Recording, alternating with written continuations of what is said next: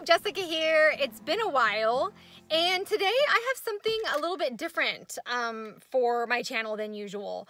Um, I have just gotten home from one of my um, LFS's, local fish stores, with a gigantic black tiger Oscar.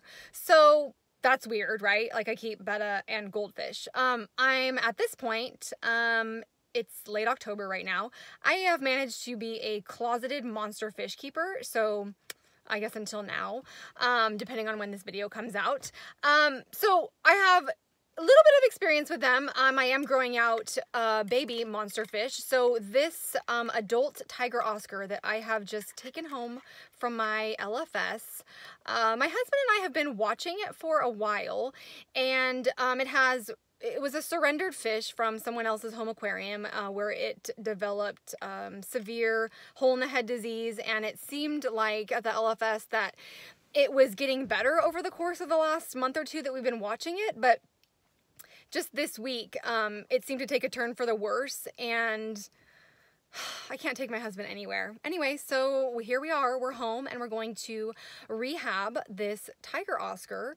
And hopefully, um, I'm not sure if I'm going to do a video series on this or if at the time when you're viewing this, this will be the complete story of Sloan, the uh, Tiger Oscar. So I would love to find a home for her myself or him. Um, or worst case, I did check in with um, another fish store that's local to me here in Sacramento that um, tends to specialize more in Oscar fish. They have a bunch in their display aquarium.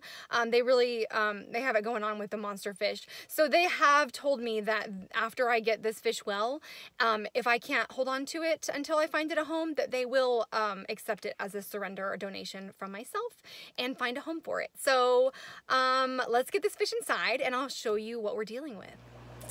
Okay, so I have brought Sloan inside the house. He is in the box and I'm gonna open it and show you what we're dealing with right now.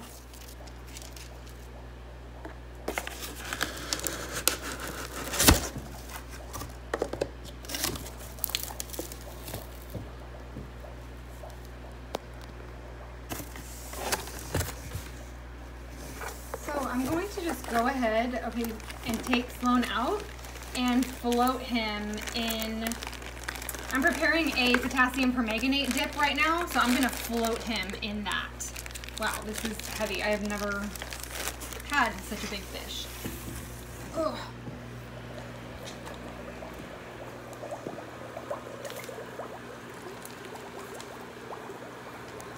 All right, that's our only sneak peek, you guys.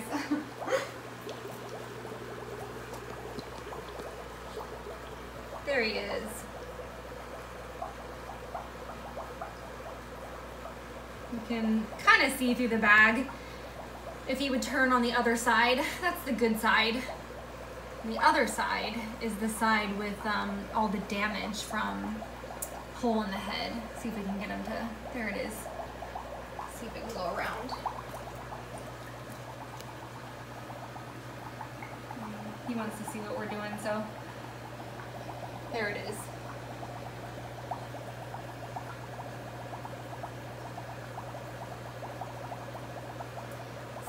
I'm preparing a dip here. I'm going to add uh, potassium permanganate and I'm gonna do like a 10 minute dip just to kind of kill off some of that bacteria that is um, is in those wounds um, on the head and uh, right lateral line. So I will do that and then I have a empty uh, 40 gallon that I'm going to slap a lid on and um, and rehab him in there, or area, you know, at least attempt to. So here goes nothing. So you can't really see much here, but I am doing a 10 minute potassium permanganate dip on Sloan here before putting um, him into the hospital aquarium that I'll be treating him in. I am doing this now because I think the uh, bacteria that is in the head wounds needs to be addressed right away. And I also am doing this kind of as a, just a preventative for me if I cross-contaminate any of my existing aquariums. This is also a anti-parasitic dip It will treat for uh, Costia, Fluke's parasite, um, and among other um, types of parasites. So I'm kind of killing two birds with one stone. I'm addressing, addressing the uh, bacteria in the necrotic skin that is on top of the head wounds. And I'm also just lightly treating for any kind of external parasites. So I uh, have a stopwatch going and I'm going to monitor um, Sloan in this medicated dip um, and, uh, and go from there.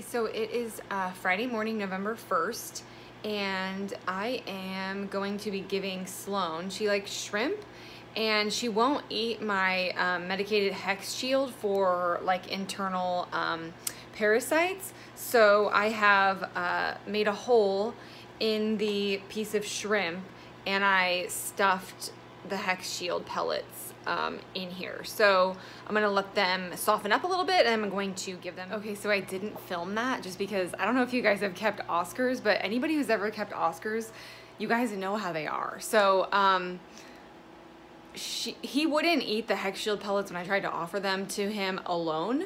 So I knew I was gonna have to do something crafty. So um, anyway, I did put the piece of, the first piece of um, shrimp in there and um, stuffed with the hex shield pellets and I put it in there and of course um, he ignored me um, and then I went around the corner and I watched him and he picked it up and ate it in its entirety. He did not spit anything out. So I am going to, Hex Shield is like a three day, um, two to three times a day medication. So I'm going to, um, when I get home from work, I will go ahead and restuff the shrimp um, and just get all of that internal stuff uh, taken care of or prevented um, so that Sloan can um, can be completely healed from you know external injury as well as internal injury and just really have that full coverage um, healing support. So I'm pretty pumped that uh, Sloan has has taken the Hex Shield pellets and had breakfast. Um, and I will be back with another.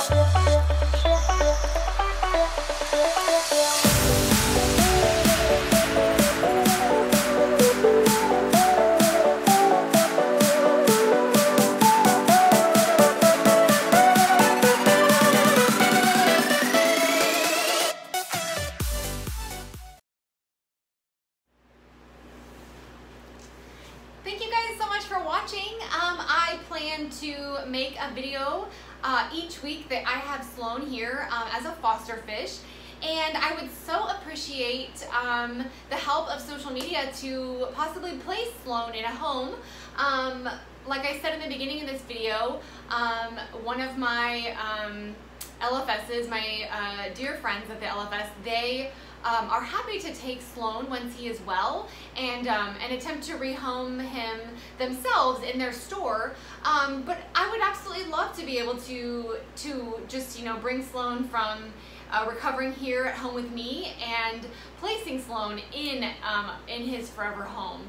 So if you know anybody anywhere near Sacramento, California, um, please don't hesitate to, well, of course, they have to want a gigantic uh, black tiger Oscar, um, but don't hesitate to reach out to me on social media. I am um, at a better world and I um, can be um, can be reached through direct message on there, um, as well as please comment here on YouTube. So anyway, I certainly never intended to buy a uh, adult Oscar fish from my LFS, certainly not a uh, very ill one, but um, it was just kind of one of those things where uh, my husband had been watching him. Um, he likes monster fish, as a typical guy fish, right? And if you had asked me, um, all of this time I've been keeping fish for the last four years, what's the fish that you think you'll never keep that you um, like the least? Um, Oscar fish. I don't. I would have told you Oscar fish. So I have changed my mind. I very much like Oscar fish. So um, so much that I can't talk. So I am a I'm a fan. Um, I'm actually raising a baby Oscar fish, an albino tiger Oscar fish here in this tank next to me.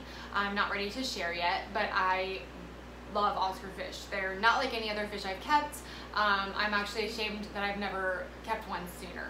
So my husband has me on that one. I was wrong, baby. Um, so going back to, you know, the fish store and, and watching that fish from the time it was surrendered a few months ago and uh, and just watching it deteriorate, it was just kind of one of those things where, you know, we got we got there right before close one night and he was significantly worse, the worst we'd seen him, and um, my husband was, you know, under duress over it. So I just kind of said, you know, what do you want me to do? Um, do you want me to do you want me to fix it? Do you want me to, to take him? I'll take him. If you, if you want me to buy him, I'll do it. Um, I don't want to see you upset, and of course I'm upset. Um, but I don't know, most of you that keep fish, we kind of all know how it is at the fish stores. I mean, there's always probably going to be a dead one. There's going to be a suffering fish. There's going to be sad things. And I just kind of try to dead soul it when I go into fish stores. I go every week and um, I like going. I like seeing the fish. I like seeing the positive. I like seeing the plants. Um, and the corals and you know I keep salt water, I keep fresh water. Um, I really enjoy going, but in order to continue to go and to stay in the hobby, you kind of just have to put up your best brave face um, when when you see you know you encounter sadness, which is every time we go. So I just kind of I look at the fish, but I look at, them with blind eyes uh, because I can't save them all. So that's just one of those things that when you go to fish stores, there's going to be stuff that sucks. Um, but you just can't take it all with you. You can't save them all. You can only do what you can do. But in this case, I, I had cleared out some tanks. I had condensed some of my goldfish fry that I reared this spring and summer, and um, and I did have a empty 40 breeder, and I was more than happy to um, to take Sloan and, um, and and get him well. And I'm so glad that I did, and I'm so happy to have him here. And I look forward to seeing him as a whole um, fish, new fish again when he um, when he gets better on that on that right side of his head. So anyway, um, that was a ramble, um, but overall, um, thanks for following his story, and we'll see you again next week.